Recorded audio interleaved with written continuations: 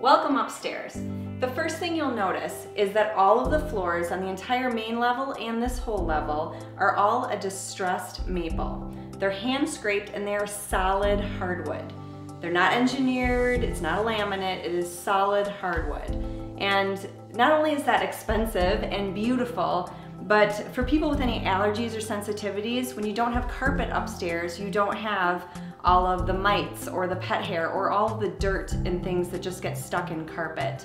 So that is a great selling point of this house. On this level, we have four bedrooms and two bathrooms. We also have the laundry room. So all the laundry is kept on the upper floor, no dragging laundry baskets up and down the stairs.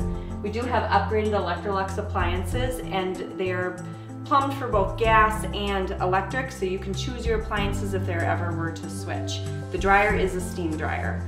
All of the bedrooms up here are oversized and the closets are as well. There is ample room for many people to live in this house.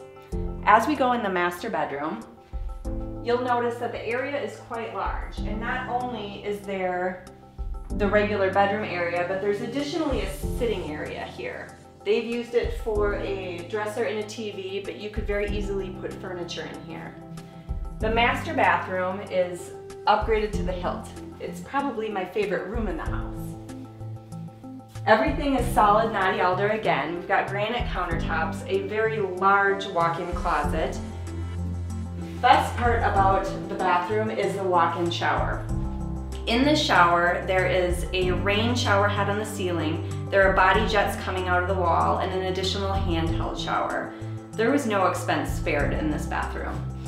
Lastly, we do have the uh, master tub that is separate from the shower.